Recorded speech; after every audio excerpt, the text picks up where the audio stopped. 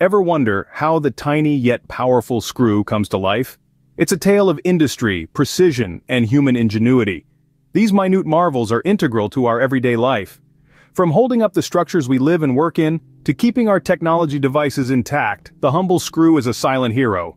It's the unsung champion of construction, the quiet achiever in technology, and the unnoticed detail in countless items we use daily. Despite its small size, the screw carries a heavy load, literally and figuratively in various industries. It's a symbol of how the smallest components can make the biggest difference.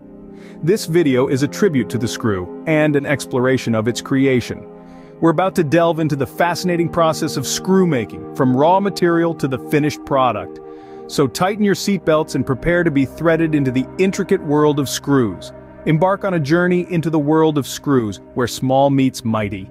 Screws begin their life as long steel rods. But how do they transform into the threaded marvels we know? Well, the journey of a screw starts in a steel mill where strong, sturdy steel rods are carefully crafted. These rods, which can be several meters long, are the raw material for our humble screws. But they are far from becoming the screws we know and use daily.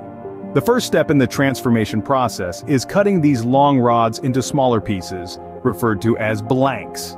This process, known as blanking, is executed with high precision. The length of the blanks is determined by the size of the screw to be made. So whether you're creating a tiny screw for a pair of glasses or a large one for a construction project, it all starts with a blank of the right size. Once we have our blanks, it's time to give them some shape. This is where the process of heading comes into play. During heading, one end of the blank is shaped into what we recognize as the head of the screw. This might be a flat slotted head, a cross-shaped Phillips head, or any number of other designs. The heading process is carried out under immense pressure using powerful machines that can exert force of several tons. The type of head given to the screw depends on its intended use. For instance, a flat slotted head might be perfect for a simple woodworking project, while a more complex Phillips head might be used in intricate electronic devices. The heading process also creates the shank of the screw, the long smooth part under the head. At this stage the screw is starting to look like the familiar object we know, but it's still missing a crucial element, the threads that allow it to grip and hold materials together. In this journey of transformation we've seen how a long steel rod becomes a headed blank ready to take on its next form. The birth of a screw is a fascinating process, combining precise engineering with powerful machinery. From a simple steel rod to a headed blank, the screw has started to take shape.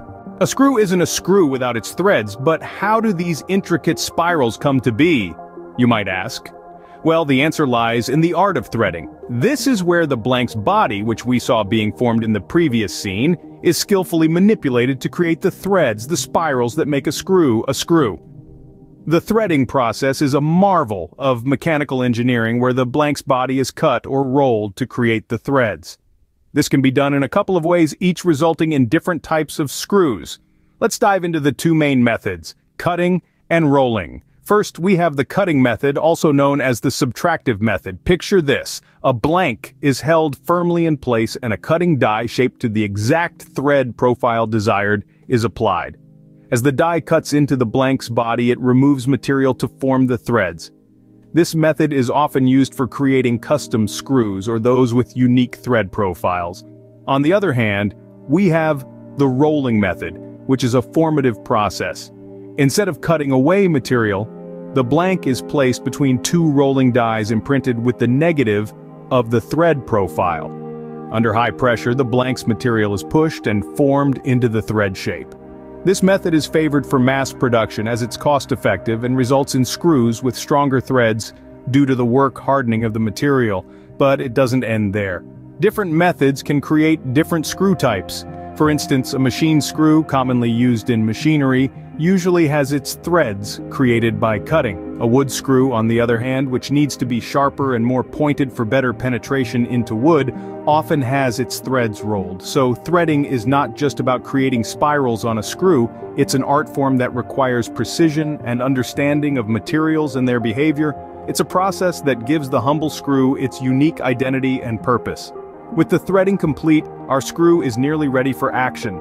The journey of a screw is fascinating, isn't it? But hold on, we're not done yet. The finishing touches await in our next scene. Stay tuned.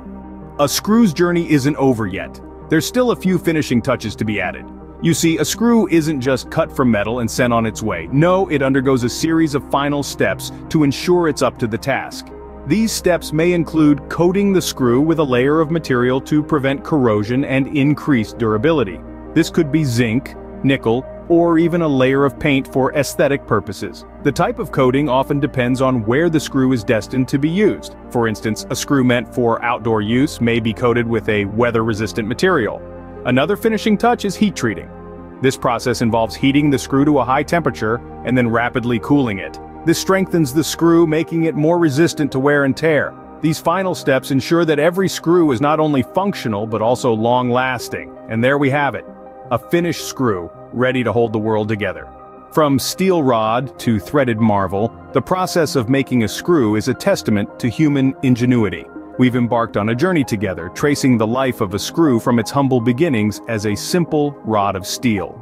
We've seen the precision and care it takes to cut and head the blanks, shaping the unformed metal into the recognizable silhouette of a screw. Then we ventured into the world of threading, where each spiral groove is carefully carved, giving the screw its gripping power. And finally we witness the finishing touches, the coating and hardening that protect the screw from corrosion and wear, ensuring its longevity. Each step, a vital part of the process, coming together to create this small but mighty tool. Next time you see a screw, remember the journey it took to become such a small but mighty tool. Until next time, stay curious.